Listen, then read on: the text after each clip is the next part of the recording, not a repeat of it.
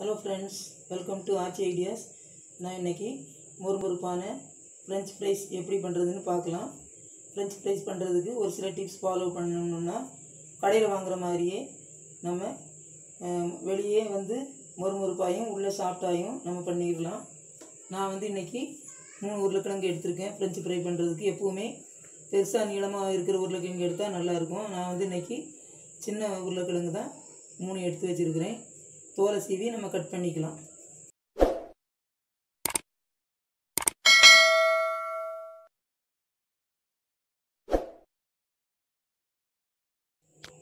இப்போ வந்து நம்ம தோலை சீவிக்கலாம்.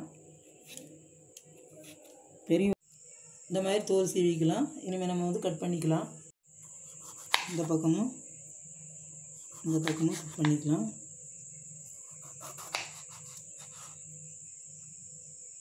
ரொம்ப நைஸாக எடுத்தாலும் நல்லா இருக்காது ஓரளவுக்கு. இந்த மாதிரி கட் பண்ணிவிட்டு பெருசாக இருந்தால் நல்லா அழகாக இருக்கும்.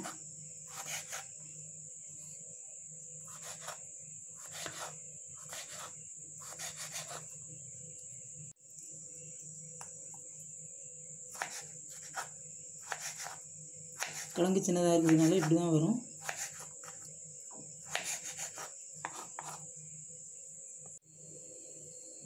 மூணு உருளைக்கிழங்கையும் நைஸாக வெட்டி வச்சு ரொம்ப மெல்லிசாக வெட்டினா தான் மொறு மொறுன்னு ஆகும். ஆனால் உள்ளே சாஃப்ட் ஆகாது நல்லா ஹார்ட் ஆயிரும். அதனால் கொஞ்சம் குண்டாக இருக்கிற மாதிரி வெட்டிக்கலாம். பாருங்கள் இந்த மாதிரி எல்லாத்தையும் வெட்டி வச்சிடலாம். இப்போ இந்த மாதிரி வெட்டினதும் பச்சை தண்ணியில் நம்ம போட்டுடலாம். தண்ணியில் போட்டால் தான் கலர் மாறாது. இதை வந்து தண்ணியில் சேர்த்துடலாம். இல்லைன்னா கலர் மாறிடும்.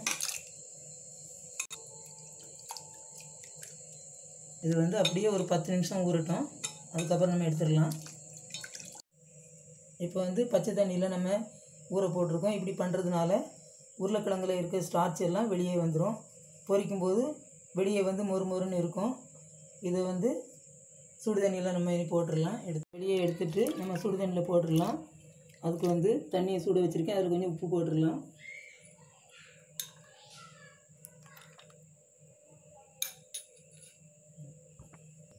போட்டு இப்போ வந்து பச்சை தண்ணியில் பத்து நிமிஷம் போட்டிருந்தோம். இப்போ வந்து அதை சுடு தண்ணியில் அதே மாதிரி ஒரு பத்து நிமிஷம் போட்டு எடுக்கலாம்.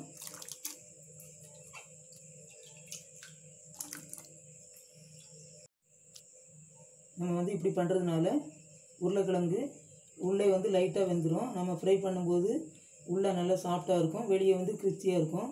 இது வந்து அஞ்சு நிமிஷம் அப்படியே இருக்கட்டும். இப்போ அஞ்சு நிமிஷம் ஆயிடுச்சு. அதை வந்து நம்ம வெளியே எடுத்துடலாம்.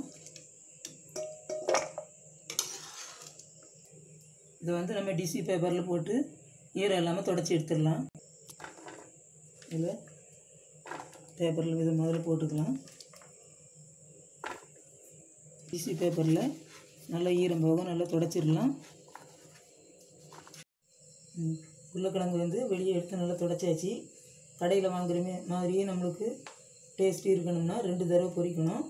அதுக்கு வந்து ஃபஸ்ட்டில் வந்து மிதமான சூட்டில் நம்ம பொரிச்சிக்கலாம். இப்போ வந்து ஃபஸ்ட் டைம் வந்து மிதமான சூட்டில் பொரித்து எடுத்துக்கலாம். கொஞ்சம் கொஞ்சமாக போட்டு பொரிச்சிக்கலாம்.